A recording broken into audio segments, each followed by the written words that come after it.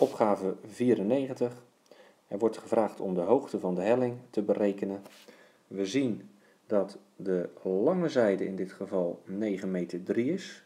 Want dit is de zijde die zich recht tegenover de rechte hoek bevindt. Deze hoek lijkt mij 90 graden. En we kennen dus ook één korte zijde, dat is die 9 meter. En de lengte van de andere korte zijde wordt dus gevraagd.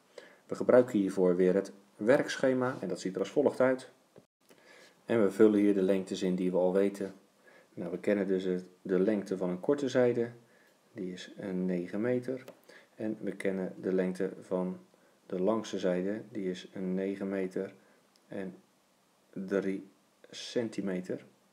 En daar nemen we het kwadraat van, van beide getallen. Het kwadraat van 9 is 81. En het kwadraat van 9 meter en 3 centimeter is 81,54. En we weten dus dan dat het kwadraat van de ontbrekende zijde 0,54 moet zijn. Want 81 plus die 0,54 is 81,54. En van die 0,54 nemen we natuurlijk weer de wortel.